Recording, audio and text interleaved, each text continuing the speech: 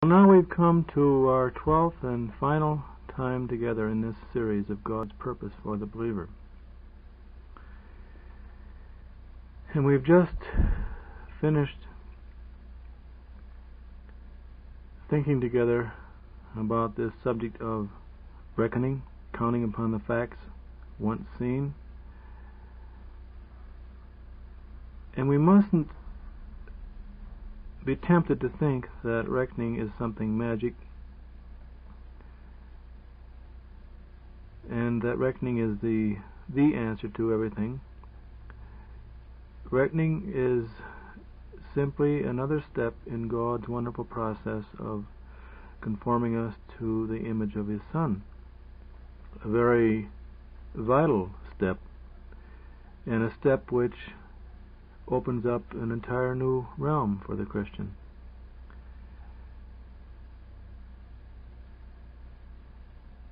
And reckoning is not a, a method or not a once for all crisis, uh, but reckoning is actually an attitude as we see these wonderful facts of identification and learn to rest in these facts and count them so that becomes a set attitude in our thinking attitude of mind and heart as we count these things so. It may be a crisis, often is, where the Christian sees these truths and enters into them and experiences a great sense of relief and freedom. But it is a crisis that merges into a process. It merges into further and more definite growth. And this must be remembered. And often, uh, there is no crisis whatsoever. The Christian just simply sees these truths and begins to count upon them, and for some time nothing happens. But at least he has the satisfaction and the comfort of realizing that he's abiding in God's truth as he sees it, this whole new realm. He accepts it. And often God holds off from giving any results from it for a time, uh, so that the Christian will uh, thoroughly examine his motives and examine the truth and make sure where he stands. And also that he will simply be willing, so sure of his truths that he'll simply be willing to wait. Trusting God. And God allows him to wait often for different reasons, and these might be two of the reasons, often are, where God gives a Christian an opportunity to really make sure. But the thing is, the thing that we must see here is that counting upon our, ourselves being dead indeed unto sin in the Lord Jesus and alive unto God in Him opens up a new realm and a new phase of one's processing for growth.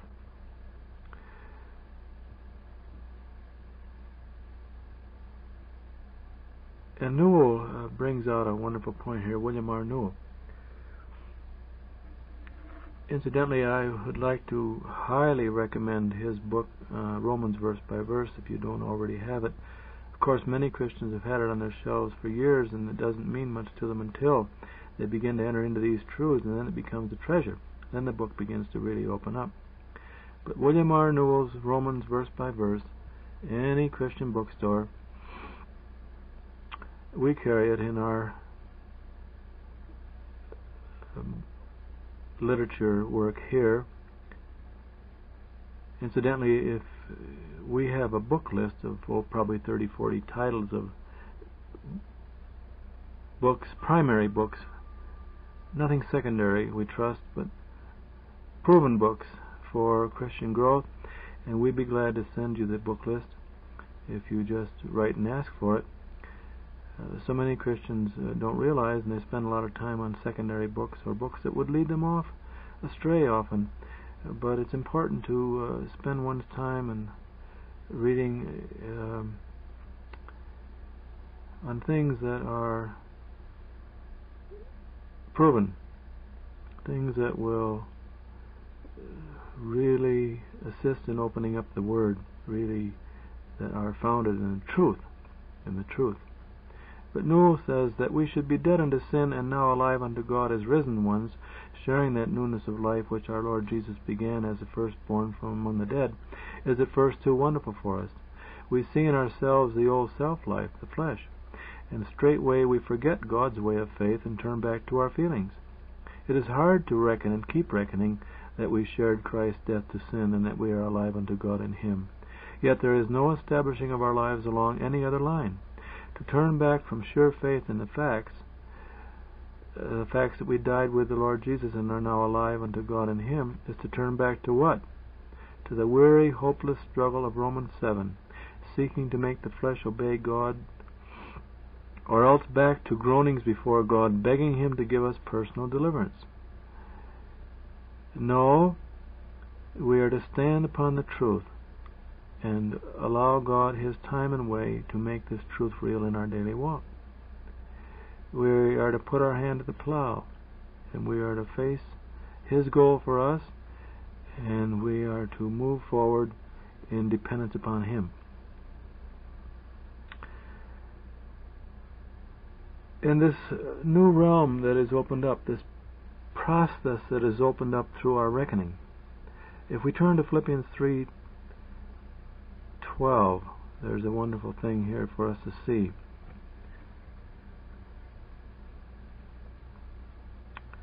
Philippians 3:12 Not as though I had already attained, either were already mature, but I follow after, if that I may apprehend that for which also I am apprehended of Christ Jesus. Now this apprehend, apprehension, ap- being apprehended, being taken hold of for a purpose. If he were to be apprehended by the police. But Paul says here, not as though I had already attained, either were already mature, but I follow after, if that I may be that I may apprehend, I may apprehend that for which also I am apprehended of Christ Jesus. And there's a very wonderful truth here that every Christian has been born into the Lord Jesus Christ, has been placed in the Lord Jesus by the Holy Spirit, and by God the Father. Of God are ye in Christ Jesus. And we have been taken hold of by the Lord Jesus, that we might be conformed to His image, that He might be our life in our everyday walk, in our practical experience. And that is God's purpose for the believer. That's what for which he has been apprehended that God has taken hold of us for this specific reason to make us like His Son. And that is what the Christian must see our position in Christ and God's purpose for us. That's why we're looking into this series to see more clearly God's purpose for us and how He works it out. And as we see that for which we are apprehended, then in our faith we reach out to apprehend that very same thing. Our faith is reaching out for that which He has for us in Christ. There's a meeting of the minds there that we have the mind of Christ. We're after the same thing He is. There's your cooperation, there's your oneness of heart. And Paul says, If that I may apprehend that for which also I am apprehended. It's a very comforting truth to find out what God's after, and then we're after the same thing. Well, there's a oneness there. And we're in the center of God's will. We find out His purpose, and that becomes our purpose, and there we are. It's just that simple. Seeing the facts and resting in them, counting upon them. This one thing I do, Paul says, this one thing I do. Forgetting those things which are behind, whether they're failures or victories. No matter what forgetting those things which are behind, and reaching forth unto those things which are before. Growth, progress. I press toward the mark for the prize of the high calling of God in Christ Jesus. And his high calling is that we may be uh, made, made in the image of his Son. Let us make man in our image. And Paul presses toward that mark, and he has no other mark. And he's in the center of God's will. He's in God's purpose and he presses toward it. He allows nothing to hinder him. He's leaning toward God. He's leaning into the wind. He's pressing toward the very mark, the target, the mark for the prize of the high calling of God in Christ Jesus. We think of Ephesians 2:10, for we are his workmanship, created in Christ Jesus unto good works, which God hath before ordained that we should walk in them. And God has completed each of our Christian lives in the Lord Jesus Christ, who is our life, all before ordained. And then He has created us in the Lord Jesus. His life is our life. And we're His workmanship, for it is God which worketh in you both the will and to do of His good pleasure. Ephesians 2:10 For we are his workmanship created in Christ Jesus created anew born anew. If any man be in Christ he's a new creation. Created in Christ Jesus unto good works which God hath before ordained that we should walk in them not produce them not manufacture them not struggle to do. Walk in them. We're to walk in the spirit. Walk in dependence upon him And that is why God is taking the Christian through failure and showing him himself so that he'll be willing to turn from himself unto the Lord Jesus as his life. That need and that hunger to press on no matter what. And uh, when we're babes in the Lord Jesus, we're treated as babes. And uh, my one's prayers are answered immediately, and one has all kinds of service, and one has all the joy and uh, treat it as a baby. But when we begin to grow up, the Lord Jesus uh, becomes more firm, and there's a matter of discipleship. One must take up his cross, he must hate his own life, and take up his cross and follow him. Otherwise, he cannot be his disciple. We're to hate our life, the old life that has gotten us into so much trouble, is the old life, the self-life that has been the, the poison in the center of everything and we're to take up our cross. And our cross is the cross of the Lord Jesus. That's where we died. We died in Christ on Calvary, and when we, one take up his, takes up his cross, he by faith he takes up that cross that he died on. He reckons himself dead indeed unto sin. That's taking up one's cross. Count yourself dead indeed unto sin. You take up the cross by faith. Lord, that's where I died. I uh, count upon that fact, and then the Holy Spirit brings the the finished work of that cross and applies it to our old life. We which live are always delivered unto death for Jesus' sake. And the old life is held in the place of death, inoperative. That's taking up one's cross. And as we uh, fail enough and, and uh, begin to really hate our life and realize that we're the ones that's ru- that are ruining everything, we are able to glory in the cross as, a, as the Holy Spirit applies the cross to our old life uh, Paul says that he would, he would glory in the cross, by which the world is crucified unto him, and he unto the world. Glory in the cross, not seek to avoid it. And the Lord Jesus says we are to follow, take up our cross and follow Him, and that's our cross.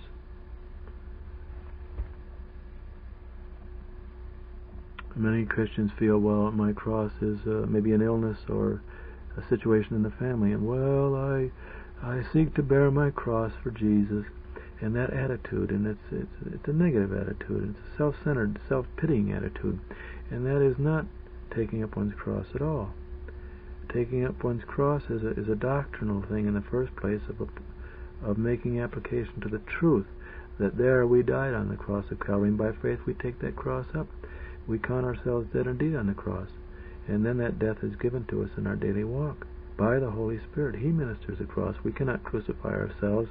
He's the one who takes us through this situation and that circumstance, and He applies the death to keep self out of the picture, that the Lord Jesus might be our all, that we might grow.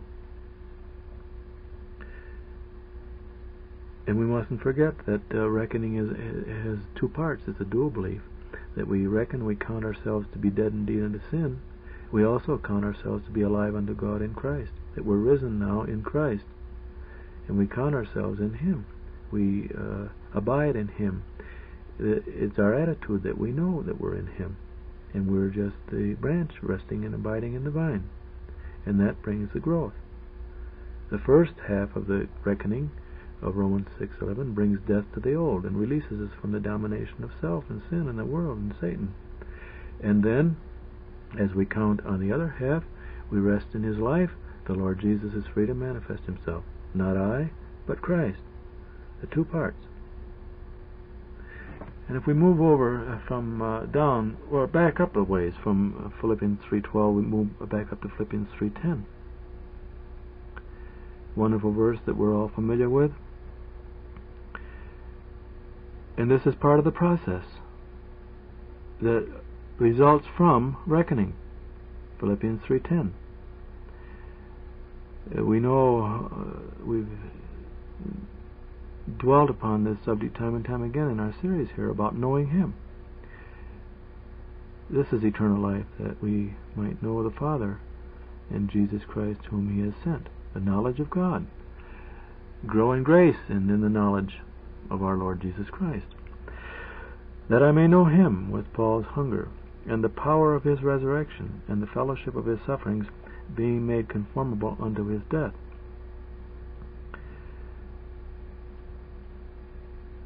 And He's a resurrected Lord, and we're we're resurrected in Him. We're on resurrection ground, brought up out of death, in newness of life. And as we know Him, we must know Him in that on that ground. Power of His resurrection has brought us up out of death, that I may know Him and the power of His resurrection. And of course, as a Christian rests in the risen Lord, the process that he's taken through in daily Christian life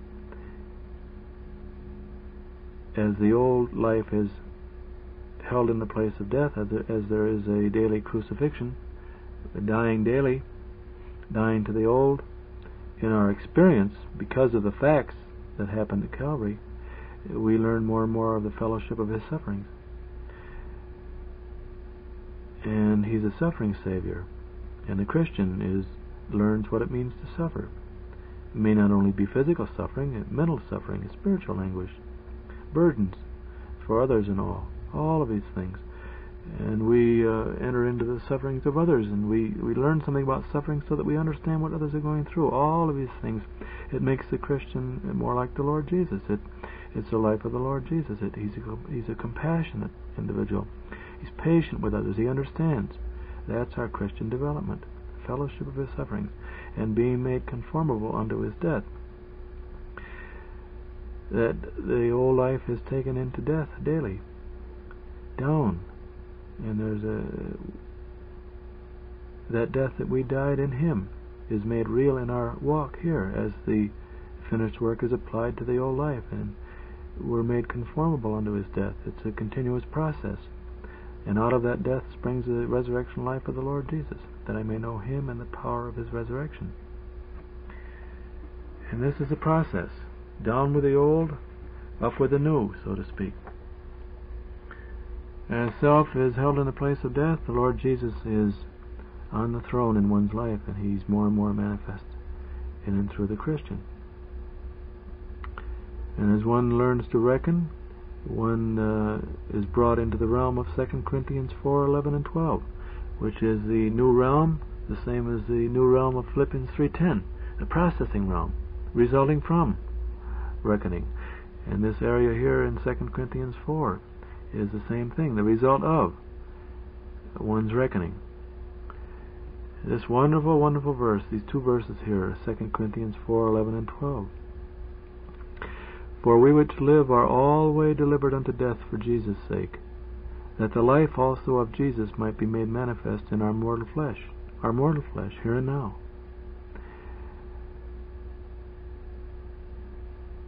And the Christian is the living one, he's the one who has life. And there's the paradox that the living one is delivered into death, like the corn of wheat being dropped into the ground and dying. That there's an element of death to the old life, it's held out of the picture more and more. And God does this through everyday circumstances and through association with people and all the situations that one is taken into. And uh, the person is crucified. The old life is uh, dealt with.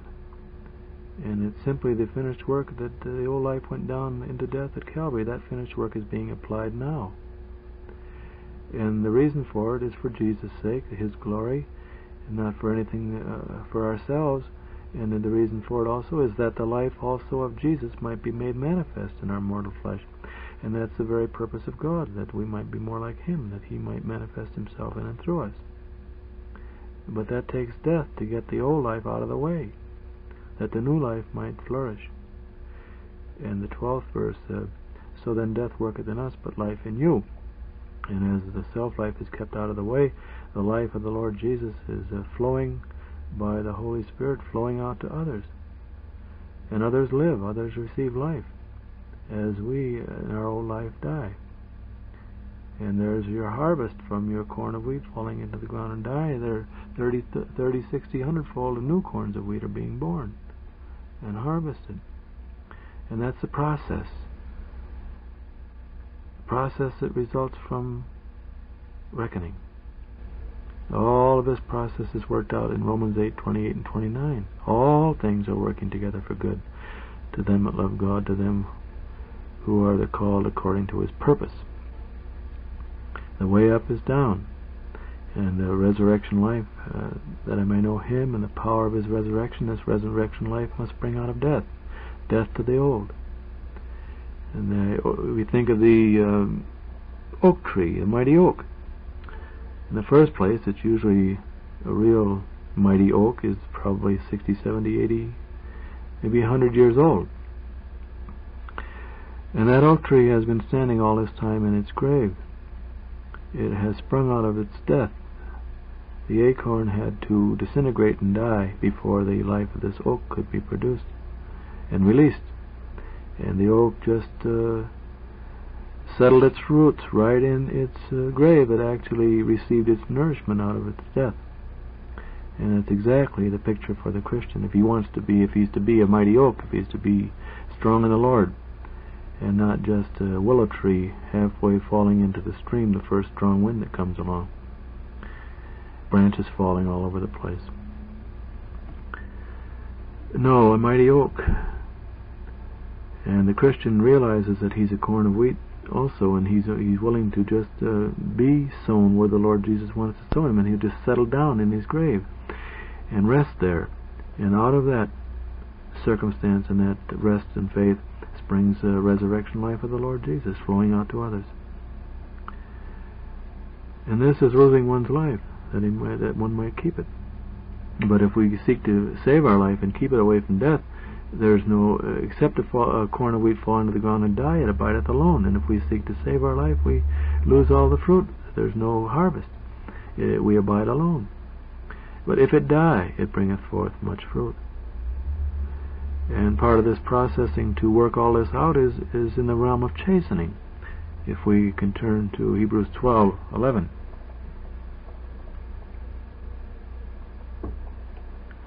a very wonderful truth here that often the Christian is chastened and he thinks something's absolutely wrong and he's being punished and he's all upset, whereas it's simply part of the processing from his reckoning that results from his reckoning. It's, it's the outworking of his reckoning. It is the process of his growth. Hebrews 12:11.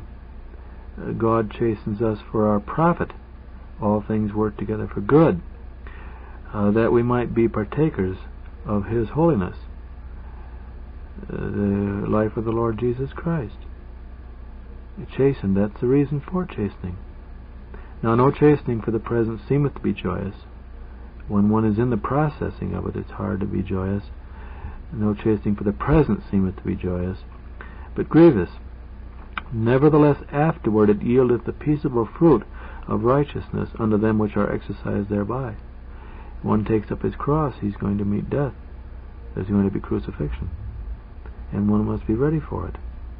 And chastening is a result of one's reckoning, one's taking up his cross, one's counting himself dead indeed unto sin. Take up one's cross and follow the Lord Jesus, there's going to be chastening. He chastens sons. If a Christian is not chastened, uh, he may he may be, better examine himself. He may be a bastard. He may not be a true son at all. Chastening is a proof of sonship. And it's wonderful to realize that chastening is not has nothing to do with punishment or anger. The Lord Jesus has borne the wrath for sin.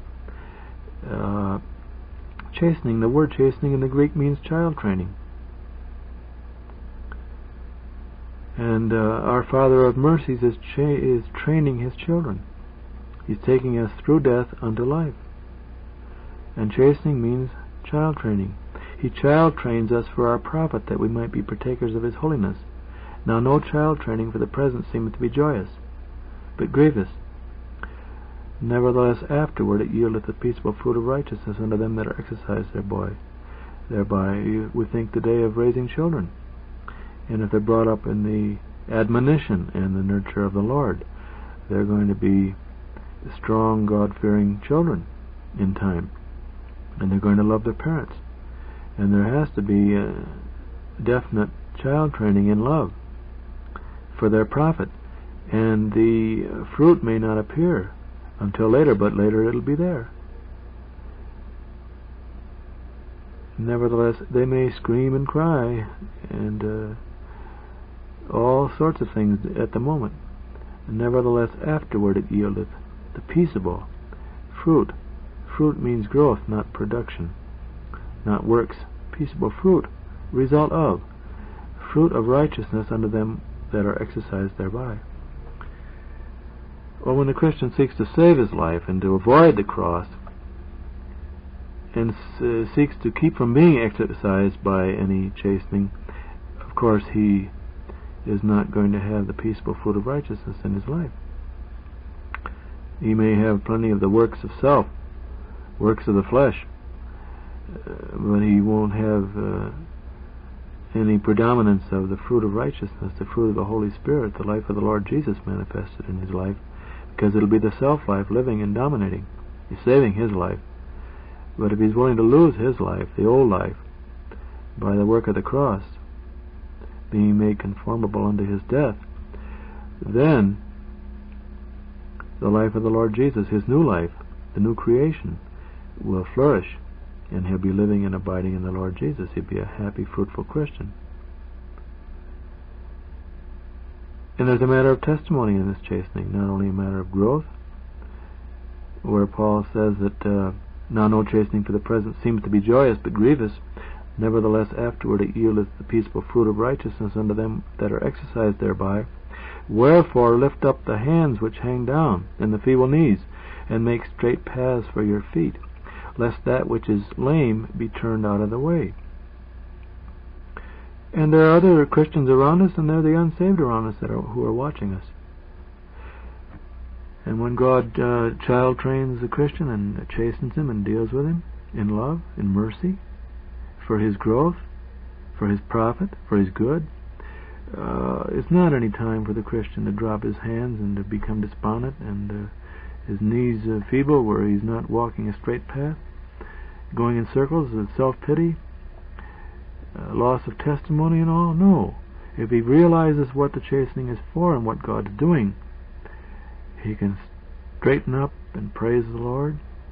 There may be keen suffering. His his rest and his praise is not in his circumstances, is not in the actual chastening, because no chastening seemeth uh, to be joyous, but grievous at the time. But he can be thankful in the Lord Jesus Christ. He can praise the Lord. He can have uh, peace and rest in the Lord Jesus. Not only for what he's doing, but for the fact of who he is and our relationship to him, no matter whether we're being chastened or not. He doesn't change. His attitude toward us doesn't change, and we can rejoice in him no matter what. We can't always rejoice in our circumstances, but we always rejoice in him. So we're to lift up the hands which hang down on the feeble knees and make straight paths for our feet. If for nothing more, for testimony, lest that which is lame be turned out of the way. Those about us who need help, who need a testimony, who need courage in the Lord, uh, they won't be turned out of the way if we walk straight and rejoice. They'll see who He is and what He means when there's pressure and chastening. Uh, but if uh, the Christian flounders and is full of self-pity and doesn't know what's happening, he's all frustrated, he's going to affect those who are watching him adversely.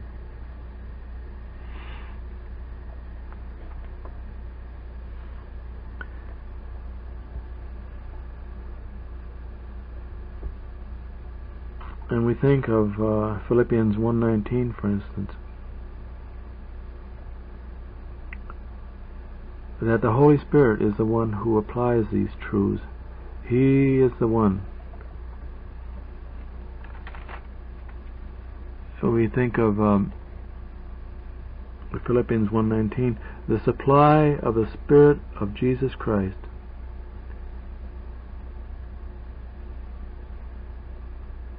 And He's sufficient. He's the one who gives us the things of the Lord Jesus. By the daily supply of the Spirit of the Lord Jesus, the believer uh, united to the risen Lord grows continually to a more perfect knowledge and likeness of his Creator, and grows up after the image of Him that created him, in the sphere where Christ is all and in all. The child naturally grows up in the likeness of his Father, and the new life communicated to the redeemed Christian grows up in the likeness of the Lord Jesus Christ, who is the Creator of the new creation. If so be that the death with Christ is unflinchingly recognized, and the old things are truly allowed to pass away to make room for the growth of the new man, which is after God, created in righteousness and holiness. As self is held in the place of death, the Lord Jesus is free to flourish in our lives. And this is the ministry of the Holy Spirit. The law of the Spirit of life in Christ Jesus hath made me free from the law of sin and death. And the Holy Spirit responds to our faith in the facts, and He makes those facts real in our daily walk. And as we reckon ourselves dead indeed unto sin, in our daily walk we become separated from the domination of sin by death. Death is the great separator. Death is complete. And death, the Holy Spirit applies that finished work of death to the old life, and we're freed from its domination progressively as we grow. And as we're free from the domination and the civil war of the old, we're free to abide in the Lord Jesus. And of course, the Christian who does not know anything about the identification truths and does not know how to take up his cross and does not know how to count himself dead indeed in the sin, uh, at best his is the up and down uh, experience. One moment it's self and one moment it's the Lord Jesus. And he's just up and down continually and he, he's just uh, distracted And no maintained walk at all.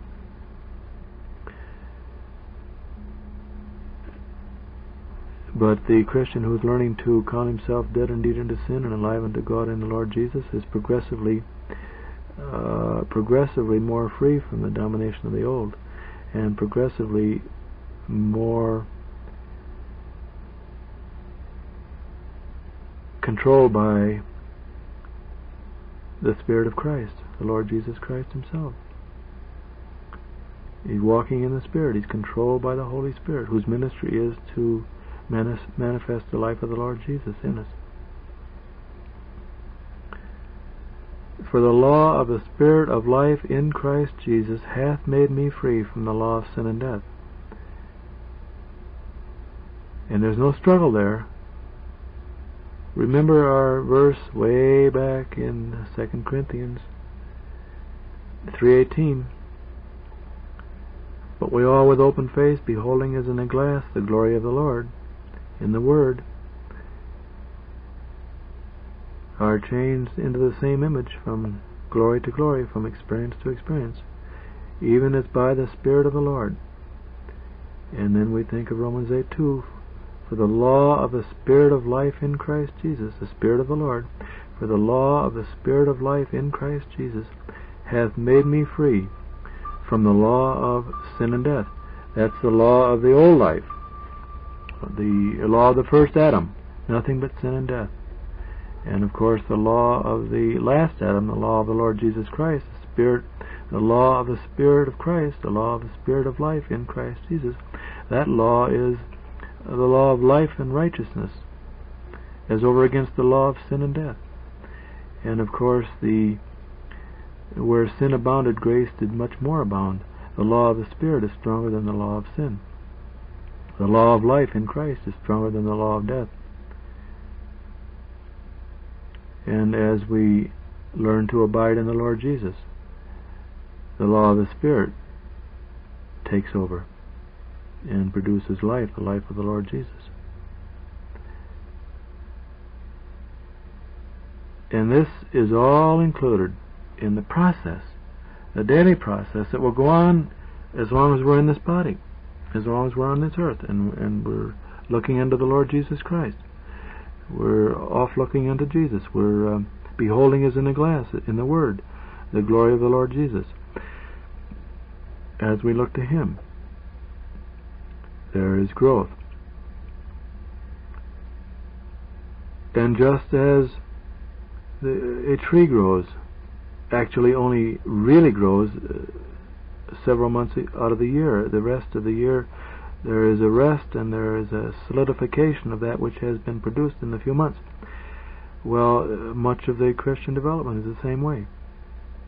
It's not all at a high speed, high geared. There are phases.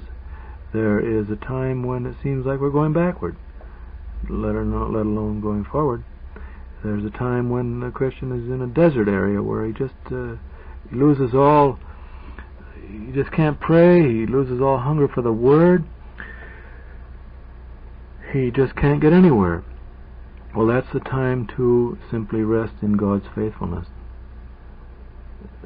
It's not uh, what kind of faith is it that we only rejoice in God and only be uh, have confidence in Him when He's blessing and everything's happening. We're going forth full speed and all kinds of fruit in the life and all kinds of service carried out, then we're happy, then we're praising the Lord, then we're confident in Him, then we love Him.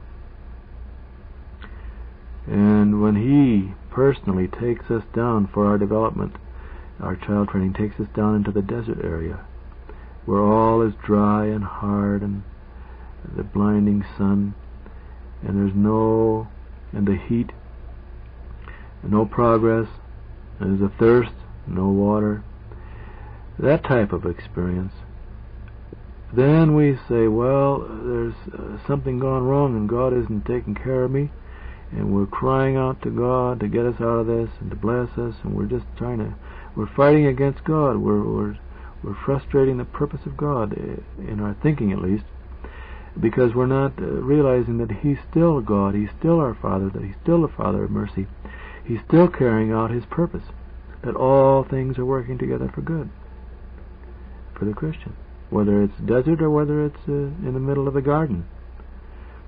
And he wants us to realize that we can rejoice in him at all times, and there has to be these desert times, and desert periods, has to be these quiet periods of seeming uselessness.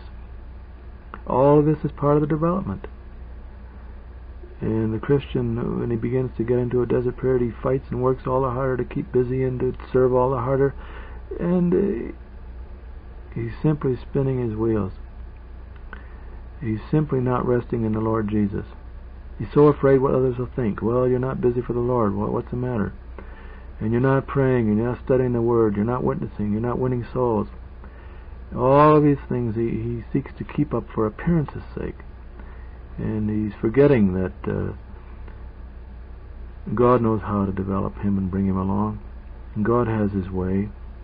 And God is uh, sovereign in this universe. And He's already created this Christian's life in the Lord Jesus. He knows what He's doing, and He knows how to do it. And it's time for the Christian to rest in the sovereignty of God, rest in the purpose of God, and to rejoice in the fact that God will not fail. All he has to do is simply abide in the vine. And there'll be, there'll be plenty of activity. Matter of fact, a Christian will be contented to go into a desert uh, sphere and a phase and get some rest. He'll need it. There won't be any laziness or lack of activity to the one who rests and abides in the Lord Jesus. And what activity there is will be infinitely more fruitful than all the nervous energy expended by the struggling, busy Christian. The barren of busyness. Barrenness of busyness.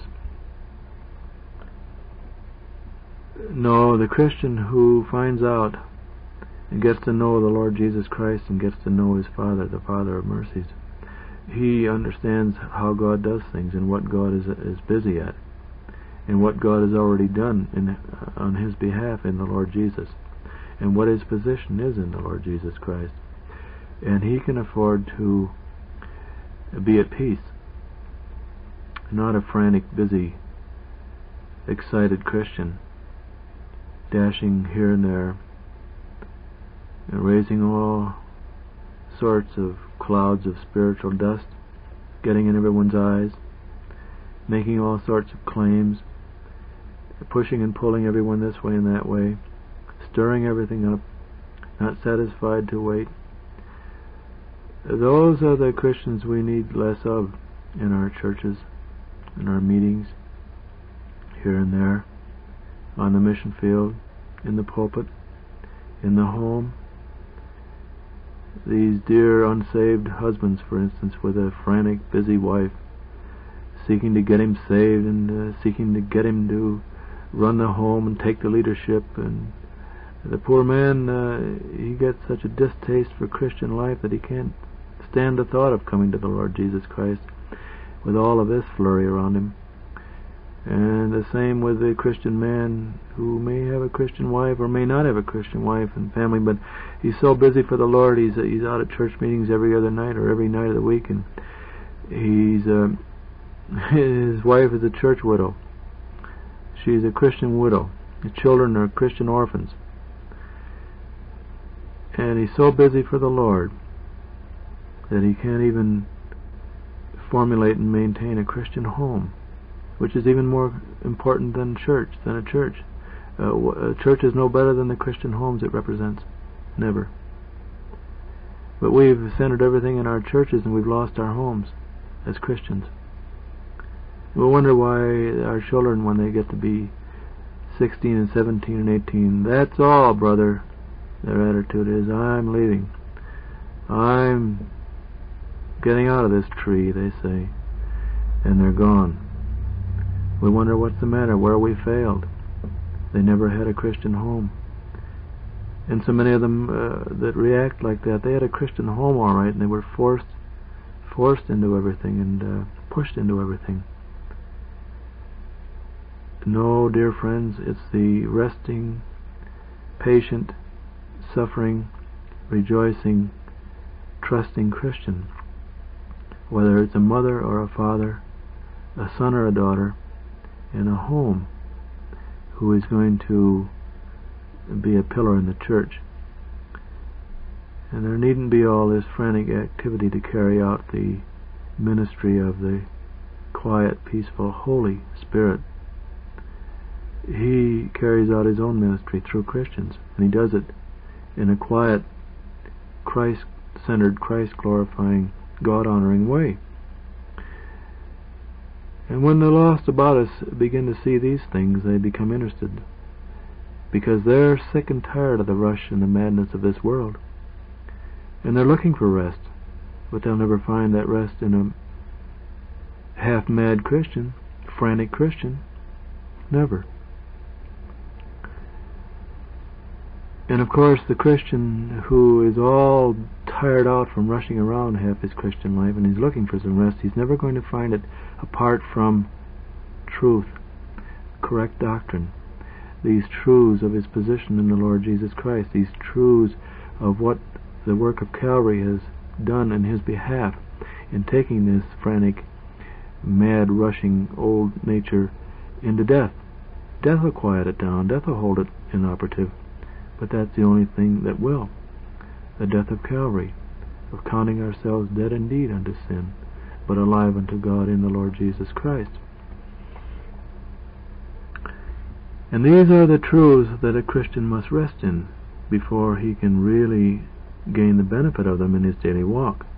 First comes the knowledge, first comes the truth, first comes the Bible, and the Christian life.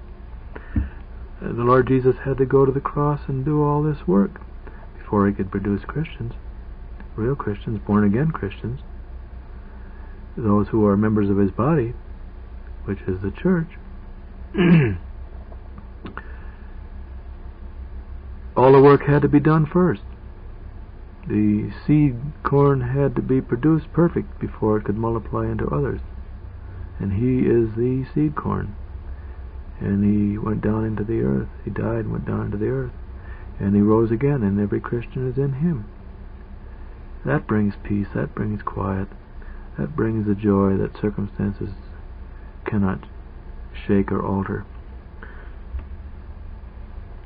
These are the Christians that we need in our churches and in our homes. Christians who know.